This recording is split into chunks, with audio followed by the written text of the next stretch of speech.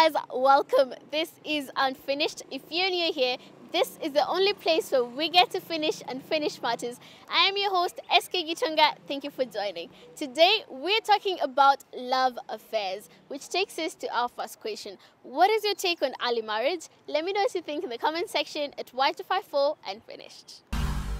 I think early marriage is up to you if depending on how old you are and if you really think that you get into it you're prepared you can handle all the stress and pressure that comes with marriage well and good and yeah and for early marriage there's some that are forced so when it comes to forced early marriages that's a big no from me now we're not going to do that not Things have changed a lot. A lot of things are creeping in.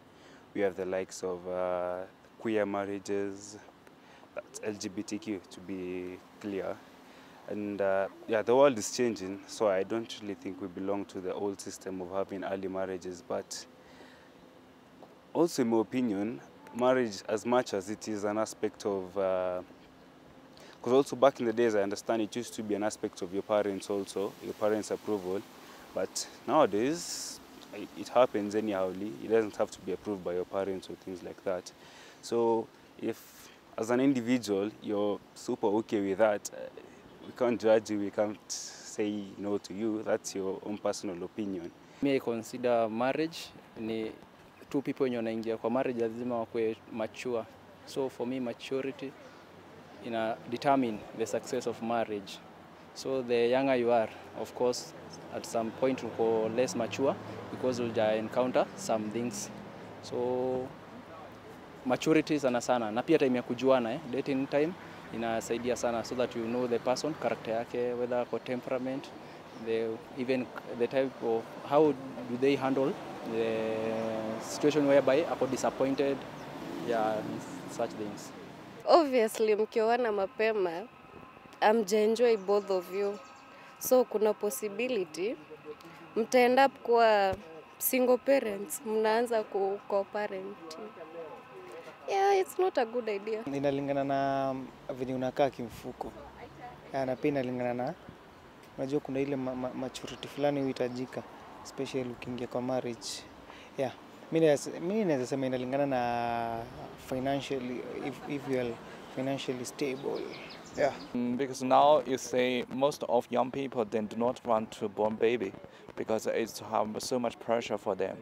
Yeah, but uh, if uh, if your family can uh, have the financial to support you, and you can get an early marriage, it can so you can maybe it's good for you to at young age to have more babies. when it comes to the concept of early marriage, I feel like it really depends on how you guys have formed your bond and your connection. Because most of them don't work out because it reaches a point where they feel like they're tired and they feel like they need to explore. So I feel like it really depends on how you guys met and how you guys formed your bond. Because if you guys formed a strong bond from back then, I feel like once you guys progress in a relationship, you guys will do better instead of breaking up. So I feel like it really depends on how you met the person and the type of bond you guys have formed. Wanafaa kwanza wamejipanga pande ya ki financial hivi, na bado si unajua mdema wase wakiwa bigi ni mo bado pande ya thinking inakuwa gafiti. Eh, mi naweza sema tu hivyo hiyo pande. my opinion hapo naona bado si poa kwa sababu lazima uko umejipanga ndo useto ukiwa na mapema labda ujajipanga hujajipanga hujajua vile future itakuwa inakuwa ni ngumu kutakuwa challenges hapo mbele I think my opinion on this is a bit subjective. I feel like at the moment, I feel like at the moment, um, in this day and age, people need time to sort out a lot of things. As I said, subjective. I don't think early marriage is something I would personally go for, especially. I consider anything before 30 early marriage. Yeah, so anything before that is early marriage for me. Even when I'm 29, I still consider myself a kid. So I feel like people need time to sort out things, especially in this day and age, finances, personal lives, knowing where you where you are in someone's life. I feel those like those are important things to also consider. So early marriage, kidogo, tricky for me. I don't think it's right because you're not yet prepared like you don't have plans like akuna vile mnaweza chunga hadi mtoi kama mmepata because both of you like i don't think mnaweza kuwa make it at an early age so yeah. In marriage, it's wrong because you you will enter into that marriage unprepared and stuff. So you're not maybe you're not ready for to take uh, full responsibilities of the babies and stuff. Yeah. Kwa wale watu wanaolewa wakioa mapema, kitu ya kwanza ni namna nchi yetu iko. Unapata vijana wengi wamesoma, hawana kazi, wamebaki. Unajua wanasemanga an idle mind is the devil's workshop. Wakati mtu amekaa tu sasa nyumbani, anaona option ni nini? Ni ku, kuoana na kuoa. Na hata ukiangalia juzi tumepoteza mwanajeshi mkuu, amekuwa na watoto wawili. Ukiangalia matajiri wengi wako na mtoto mmoja ama wawili ama watatu, lakini maskini inaonekana ni kama wanachukulia raha kuoa na kuoana, kwa sababu hiyo ndio raha wamebaki nayo. Ndio unapata maskini ako na watoto kumi na tatu. Hiyo ni kulingana na maoni yangu. Sasa mi naona ni kama hii kuona mapema sio kupenda kwa vijana wengi, kwa sababu hawana option nyingine. Wangekuwa busy, wangekuwa employed, wangekuwa wanafikiria vitu zingine. Hiyo ni maoni yangu. in my opinion, I feel like if you have gone through all the stages of trying to know this person and you're comfortable with that, I am not in a position to tell you it's too early or too late. I feel like it's an um, a personal decision. But what I would advise you is make sure you get to know this person very well. On to our next question. What do you consider cheating? Let me know what you think in the comment section. Cheating is definitely being unfaithful. It's either unfaithful in your thoughts, in your words, or even in your actions. Yeah, and uh, cheating definitely is not good. It spoils relationships. Uh, I've been a subject of some of those, not personally me, but where I live, a lot of relationships have really been broken due to that aspect of cheating. Yeah, and it isn't healthy at all, according to me. Yeah. So cheating is lack of openness, mm, whereby the partner want to benefit from the both sides mm, instead of committing to one person. So for me, that is cheating. Uh, and, and pia lack of lack of maybe understanding uh, situation ya the other person. Yeah, because if at all you can talk to the other person, mwambie this is my potential. So it's either akuchukue based on that potential yuko nayo or I, I go to another person. Yeah. ananificha ficha, anaficha ficha simu yake anafanya vitu wa kitense tense, ataki tutembee places specific na yeye, so I consider those cheating. Musi creative yeah.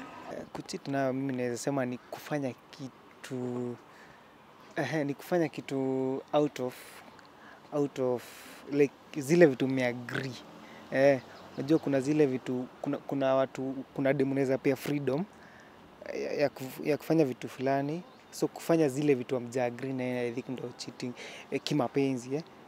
Like for example nikwambia aje?